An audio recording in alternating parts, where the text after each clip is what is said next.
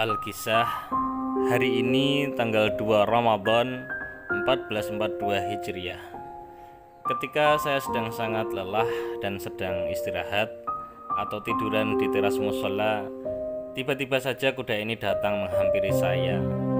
Tidak kurang dari setengah jam, dia berdiri dan terdiam memandangi saya.